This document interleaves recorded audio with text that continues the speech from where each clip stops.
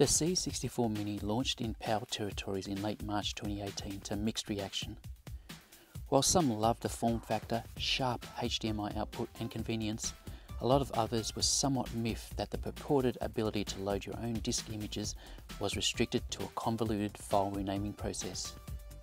While Retro Games Limited, the makers of the C64 Mini, have finally released new firmware to coincide with the Mini's North American release that includes the highly vaunted USB loader. To install the latest firmware to your Mini, use your favourite web browser to go to the C64 main website page and click on the Get Latest Firmware button, and it will take you to the upgrade page.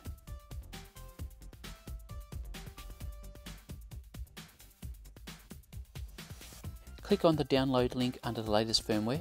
At the time of recording the footage for this video, the latest was 1.1.0, but by the time this video is published, the latest firmware build is 1.1.2, which goes on to fix a couple of uh, issues around file behavior within the USB loader. Once the file has downloaded, copy the firmware file onto the root of your USB stick that you'll use to load images from your Mini. Now, it's simply a matter of connecting the USB stick to your Mini, booting it up, and then going into the system menu. Then we go into system information. The Mini should pick up that you have the latest firmware on your USB. You will then select apply.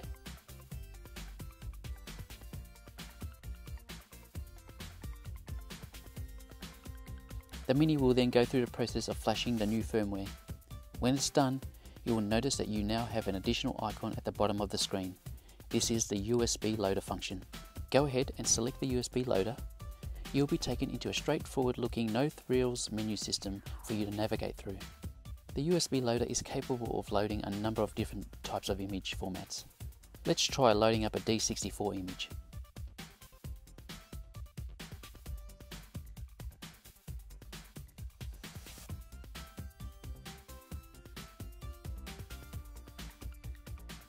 As expected, it works with no problem, and we still have the save state functionality intact.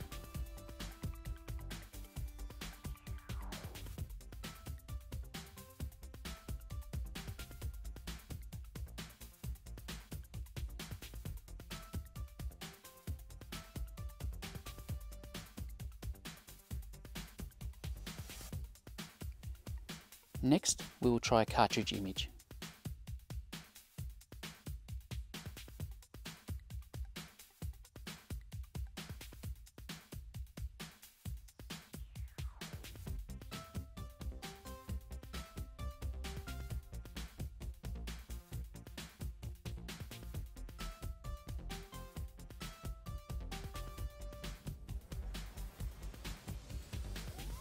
Looks good there.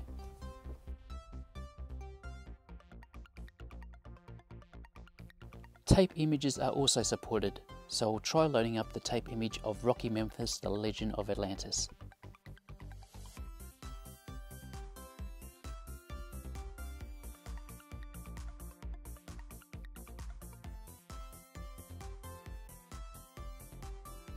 It works, and we can already see that the USB loader is starting to be a versatile utility.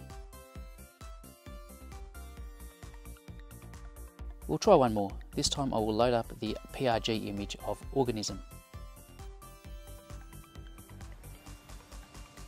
It works.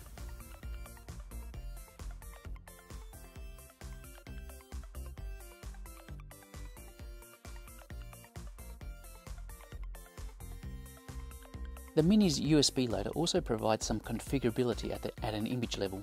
The default joystick port for the Mini is port 2. This is a problem for games such as Bruce Lee, which require a joystick in port 1 to play the game.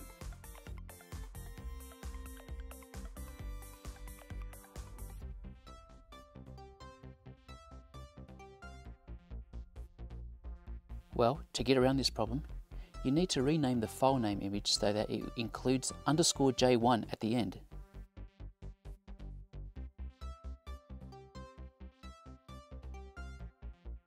So now when we go back in to launch Bruce Lee, the USB loader will know that we want the primary joystick port to be port 1 and we are able to play the game.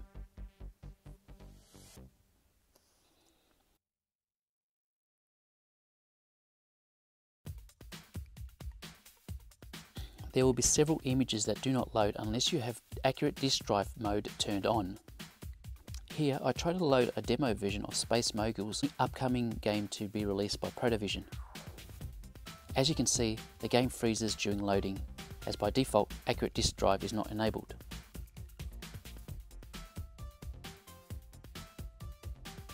So to switch this on, we need to rename the image file by adding an underscore AD to the end of the file name.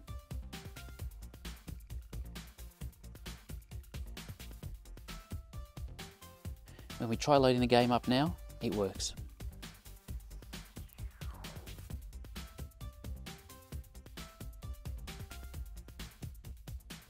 By the way, it is possible to map the joystick buttons, but this requires the creation of a CJM mapping file to be created for each image. Bit of a pain, but the C64 website provides clear instructions on how to do this if you are keen. Okay, now let's try multi-disc images. I will load up my version of California Games, which has two sides. The game will prompt me to insert the second disc.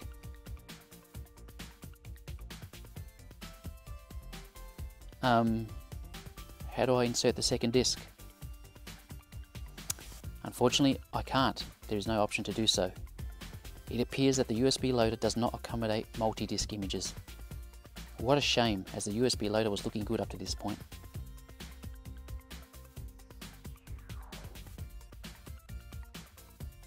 So there we have it. The addition of the USB loader is a major plus for the Mini emulator and is sure to please many. It definitely is a major step forward and makes the product far more useful than what it was at launch time.